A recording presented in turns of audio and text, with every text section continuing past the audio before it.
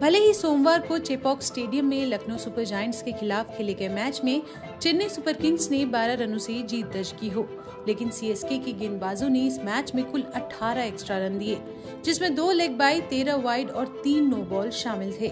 Captain cool भी इस बात से काफ़ी नाराज़ दिखाई दिए। मैच के बाद उन्होंने कहा हमें तेज गेंदबाजी में सुधार करना होगा। हमें कंडीशन के हिसाब से गेंदबाजी करनी होगी। ज़रूरी यह है कि हम उस बात पर ध्यान दें कि विपक्षी गेंदबाज क्या कर रहे हैं। एक और बात, हमारे गेंदबाजों को नो बॉल और एक्स्ट्रा वाइड नहीं फेंकनी चाहिए। नहीं तो उन्हें नए कप्तान की अगुवाई में खेलना होगा। यह मेरी दूसरी वार्निंग है, और फिर मैं चला जाऊँगा।